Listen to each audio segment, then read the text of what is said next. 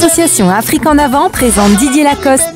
Didier Lacoste en concert live le samedi 15 juillet à partir de 20h à Lyon.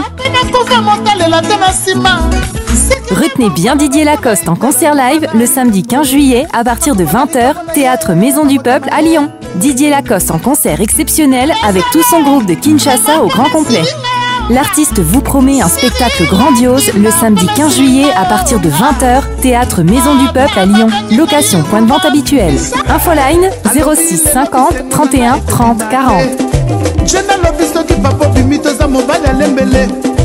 papa signe mama alandi na ye vatela te sheri yango